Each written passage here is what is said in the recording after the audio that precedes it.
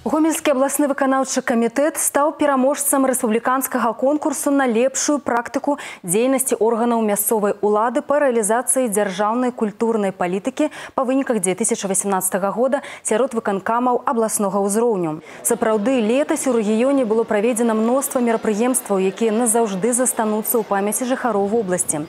Напрыклад, на ўмацаванне пазітыўнага іміджу гомельшчыны, павышэнне цікавасці да яе вытворчага патэнцыялу, духоўнай спадчыны спрыяў конкурс брэндаў. У кожным раёне вобласці выбіралі, з чым асацыіруецца раён.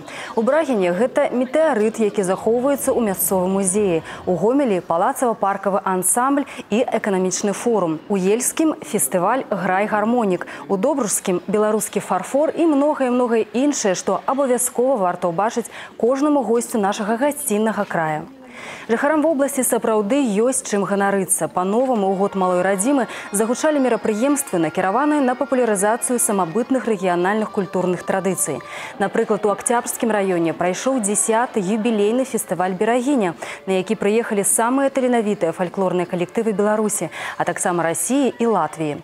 І вядома, цяжка ўявіць культурнае жыццё рэгіёна 2018 без міжнароднага фестывалю харэаграфічнага мастацтва сожскі карагод і форум форуму этнокультурных традиций «Клич Полесья». Награда действительно высокая, поскольку хочу сказать, что уникальность ее заключается в том, что у данного конкурса республиканского нет ни первых, ни вторых, ни третьих мест. Есть одно единственное. Вот и называется «На лучшую практику работы органов местной власти в отрасли культуры». Вот это место в этом году по итогам 2018 года досталось Гомельскому облсполкому. Это очень отрадно, почетно и ответственно.